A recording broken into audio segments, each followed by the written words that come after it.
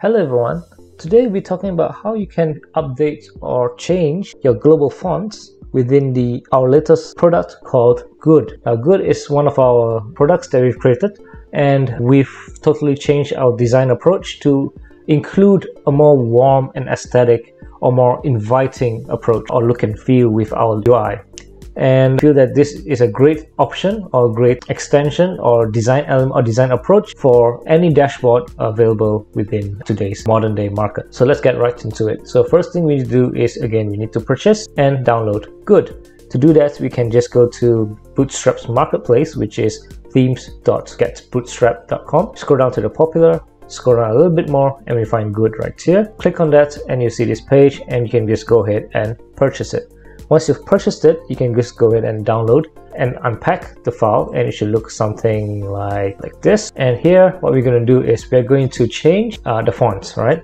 So first we need to, of course, find the font that we want to change to. So you can find fonts in a lot of places. The best place at the moment will be just Google Fonts. And then from here, you can just select any font you want, either Roboto or something else. So select the font you want and you just get the link for it. So like for example, if I click on this and let's see on, on this and this and this, for example, and then this is the link for me to download it. Download to the link to my project. So let's go back to the folder or rather go back to our IDE. So now we want to change that. So first we need to go to our theme, go to this, go to our HTML. This is just an example. What you guys should do is you should do this within your project itself and use good as a companion app to just refer on the layout or the design or components or widgets that you like to use for your project. But this is just very quick and example on how you can change your fonts. So what you need to do is we just need to change this link to the, the new fonts link that you are using. And once you've done that,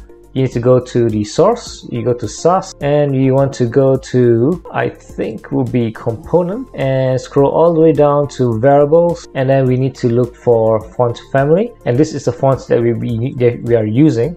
So we need to copy this variable and put it into the custom uh, Sass variable. Now for more information on how you can actually extend our Sass framework or Sass files, there'll be another video on that. So links to that video will be in the description below as well. So we can do this and just copy and paste the thing here and then change this font name to the font that you're using. For example, if you're using Roboto, you put in Roboto as such. So once you've done that, you save it. Once you save it, build it, deploy the asset, the new asset, and refresh your project, and it should be running on the new font. So yep, so that's it for this video. I hope you find this video informative. If you did, just give us a like. Please also subscribe to our YouTube channel so the next time we release a new video, you get an update. Please follow us on our social medias, Twitter or Facebook. Links will be in the description below, and I see you guys in the next video. Take care.